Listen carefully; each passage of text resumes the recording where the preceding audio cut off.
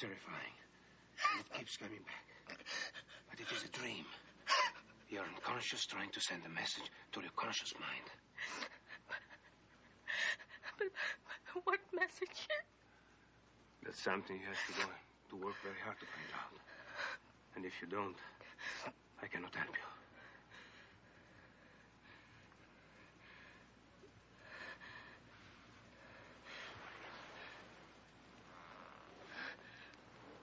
You've helped me already, Peter. Not nearly as much as I want to. You've helped me so much.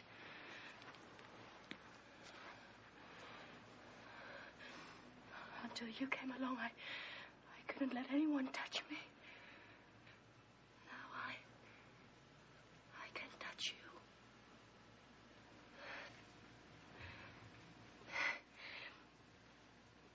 And I can let myself be touched.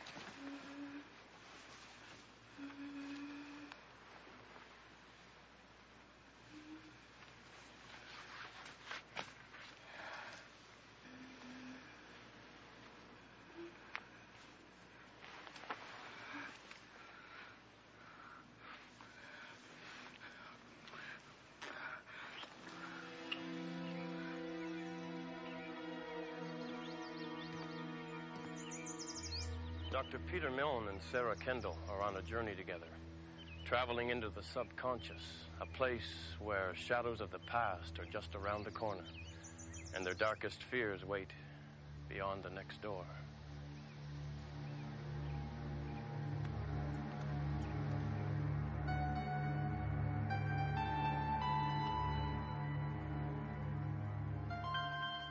Whenever I can't be with you, I feel frightened. But then, when I'm with you, I know that nothing bad can happen to me.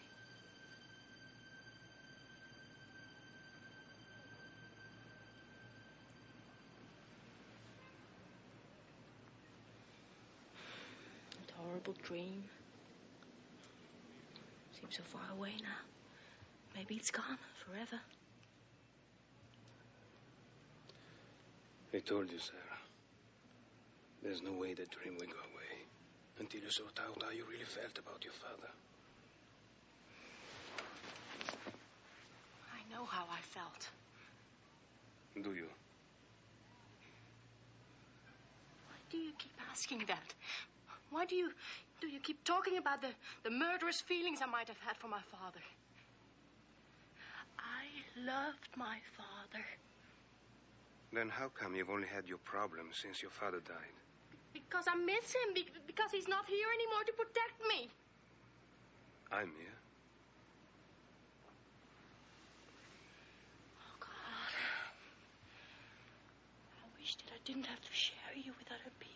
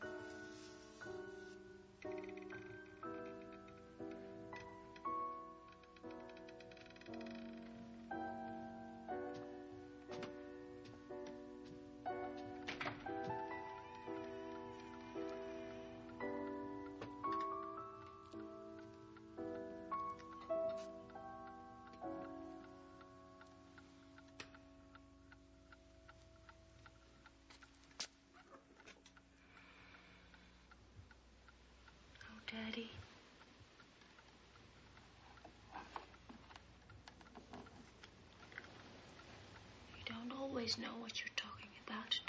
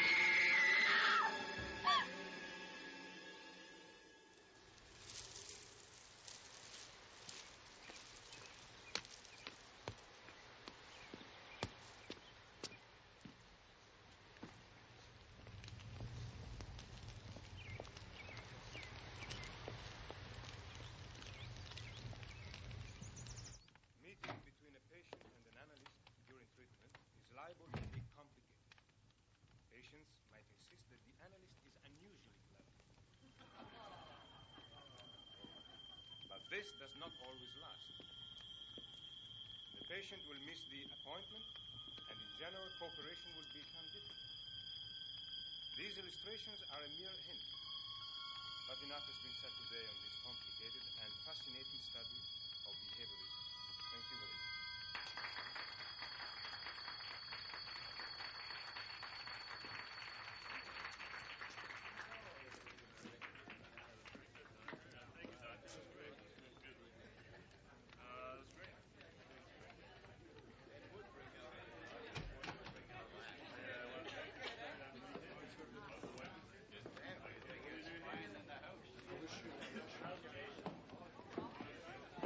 Well, Peter, I suppose you know you did yourself a lot of good today. Of course. I admire self-confidence.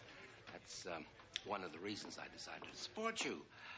Oh, uh, one uh, small word of advice. You've got yourself a good, clear shot at the presidency now, and the clearer the shot, the more enemies.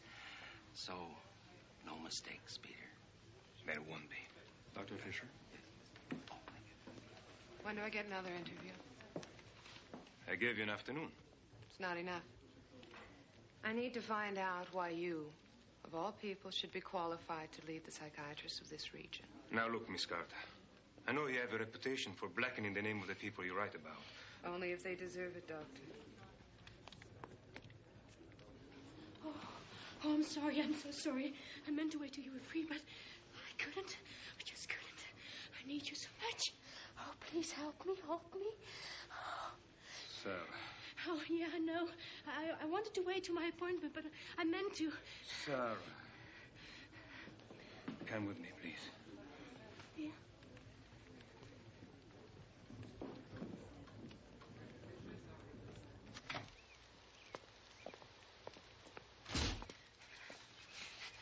Take a deep breath.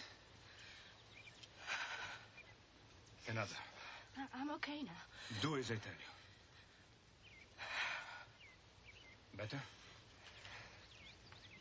I'm such an idiot. I didn't mean to embarrass you, but it's been getting so much worse the last couple of nights. Still afraid to sleep? I'll see you at my office then. The usual time.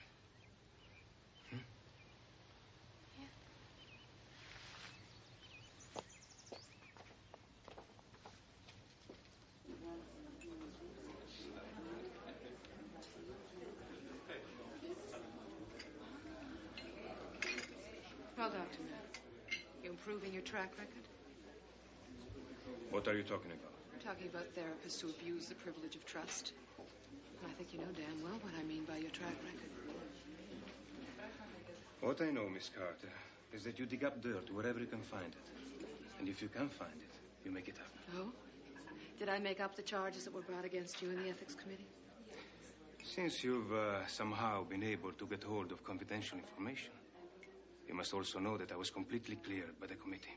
It would impress me a lot, Doctor. If it just happened once. I told you. I know you were totally cleared both times. They believed you. Not the pathetic, confused women you might have taken advantage of. Now look, That's Miss Carter. just what I plan to do. Look and listen. A lot. I'm sure we'll be seeing some more of each other, Doctor.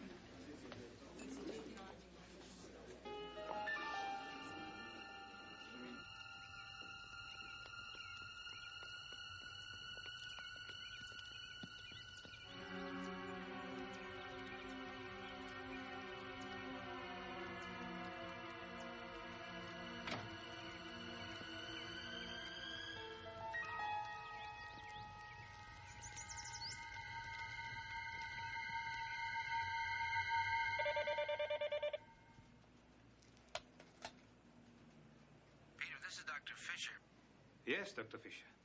Peter, that reporter I saw you talking to has been calling members of the selection committee. Is there a problem I should know about? Absolutely none. There had better not be. You have my support, but that would change if charges could be proved. Understand? Yes.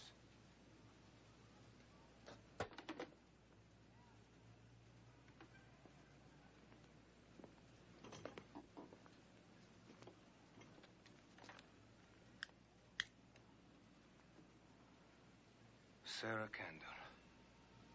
The patient is becoming increasingly disturbed and highly suicidal. She speaks of taking her life. And yet, she just called to say she no longer needs analysis and will not return to the clinic. I'm concerned, but there is nothing I can do. Close the file on this patient.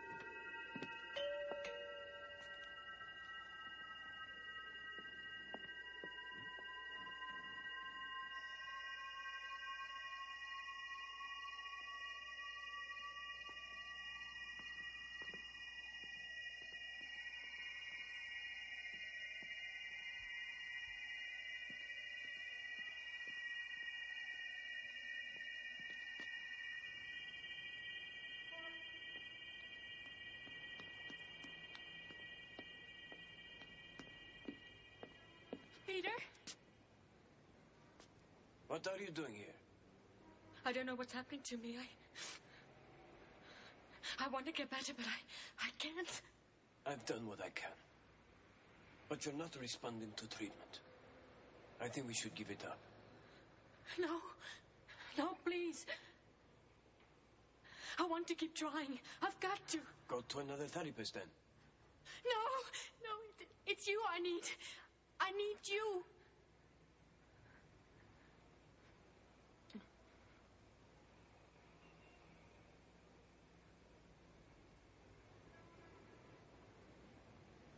All right, Sara. There might be a way. You need courage and strength. A lot of strength. It's your only chance to get well. You think you're strong enough?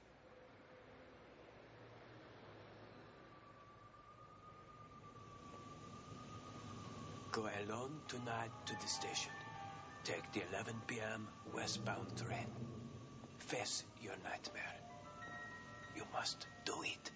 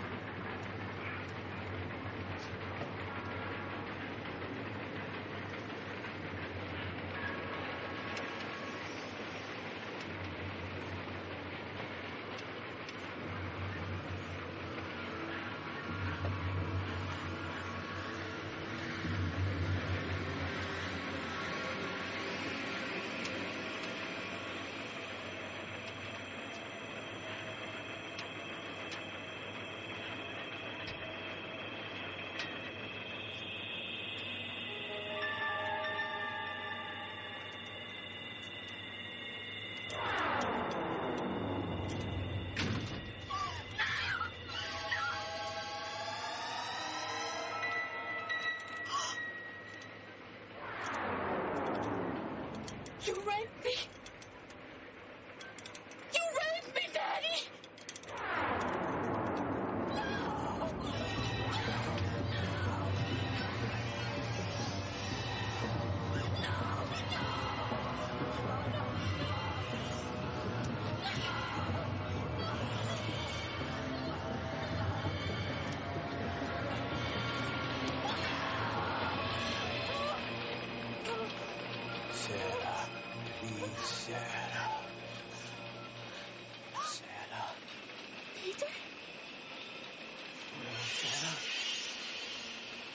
Touch me. No, Sara. It was you.